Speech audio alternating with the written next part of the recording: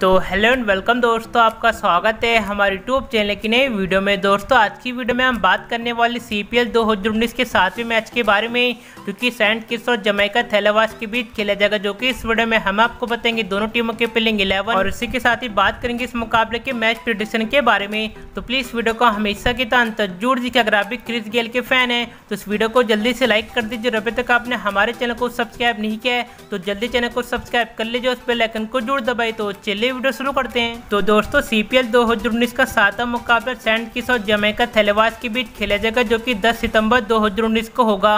दोस्तों, ये मुकाबला बहुत ही रोमांचक भरा होने वाला है। जैसे कि आप लोग जानते हैं कि सेंट किस ने अब तक दो मुकाबले खेले हैं, जिसमें से दोनों मुकाबले हार चुका है। इसलिए वो भी चाहते कि ये मुकाबला जीतो, सीज़न की पहली जीत हासिल कर ले। और वहीं बात की जमैका थैलेवास की तो जमैका थैलेवास ने भी अब तक एक मुकाबला खेला है, जिसमें उन्हें हार का सामना करना पड़ा था। इसी बात को देखते हुए जमैका थैलेवास की टीम भी चाहती कि ये मुकाबला जीतो, सीज़न की पहली जीत हासिल कर ले। दोस्तों, इस मुकाबले की टाइमिंग की बात करें तो इंडिया में ये मुकाबला देखने को मिलेगा सुबह साढ़े बजे से और वहीं बात की इस मुकाबले के लेफ़्ट टेलीकास्ट के बारे में तो इंडिया में यह मुकाबला देखने को मिलेगा star sports two, star sports two H channel पर। और वहीं बात की मोबाइल ऐप की तो आपको सभी मुकाबले देखने को मिलेंगे हॉटस्टार के ऐप पर।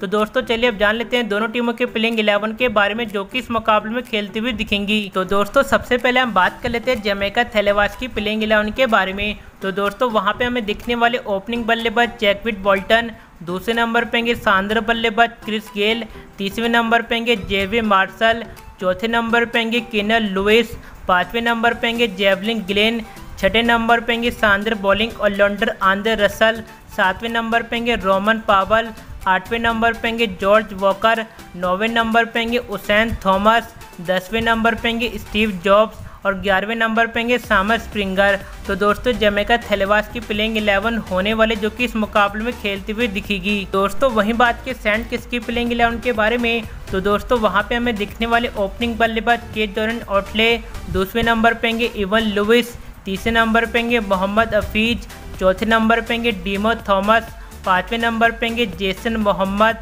छठे नंबर पे होंगे फेबिल एलिन, सातवें नंबर पे होंगे कार्लोस ब्रैथवेट आठवें नंबर पे होंगे रियाद इमरात नौवें नंबर पे होंगे सैंडल कोट्रेल, दसवें नंबर पे होंगे अलजारिस जोसेफ, जबकि ग्यारहवें नंबर पे होंगे उस्मार मीर। तो दोस्तों, सैंड किस की प्लेइंग इलेवन होने वाले जो कि इस मुकाबले में खेलती हुई दिखेगी? तो दोस्तों, अब बात कर लेते हैं इस मुकाबले के मैच प्रिडिशन के बारे में। तो दोस्तों, मेरे मुताबिक ये मुकाबला जमेका थैलवास की टीम जीतने वाली है।